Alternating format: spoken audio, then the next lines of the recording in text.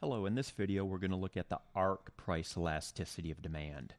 This will use the midpoint formula that is presented in most principles of economics books and some intermediate microeconomics books. So the ARC elasticity of demand can be written as the following. The change in quantity demanded divided by the average quantity, and then this is all going to be divided by the change in price divided by the average price to simplify this mess, what I'm going to do is I'm going to multiply the numerator and denominator by the reciprocal of what's down here. So the reciprocal of change in price over average price is just average price divided by change in price.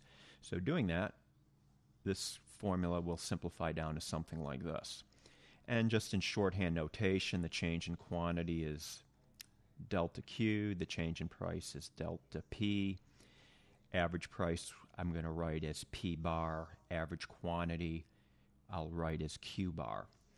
So let's use this formula to solve a problem. If price increases from 10 to $14 and quantity demanded falls as a result from 60 to 40, what is the elasticity of demand? So the change in price is positive, 10 to 14. So we got 4 here, so the change in price is $4. The change in quantity is negative. We're going from 60 to 40, and that is a minus 20 unit decrease, so the change in quantity is minus 20. Now we need the averages. What is average price? The average price is $12, so 10 plus 14 divided by 2 equals 12.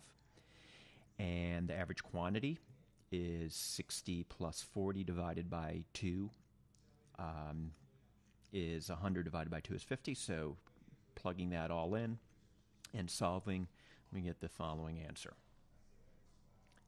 Uh, doing another example, uh, this time if price decreases from 18 to $10, so the, the change in P here is minus 8, and as a result, uh, people buy more because of the lower price. Quantity goes up by 40 units, so the change in Q is 40.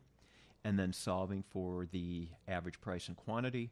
The average price uh, it's also just a midpoint of these two, so the midpoint is 14, and sometimes that's why it's called the midpoint formula. So the average or the midpoint between 18 and 10 is 14, and the average or midpoint between 10 and 50 is 30 simplifying and solving, we get this. Oh, just one quick kind of thing to help uh, you in memorizing this formula is uh, try to remember that the, the cross terms match, these cross variables match, so Q and Q, P and P, so the cross variables match. All right, and finally in problem three, if price increases from 8 to $12, so change in P is plus 4, we see that quantity falls by 2, so minus 2 for the quantity.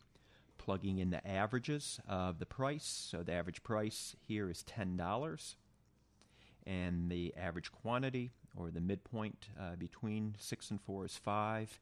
Simplifying, we get minus 1. So I hope you found this video helpful.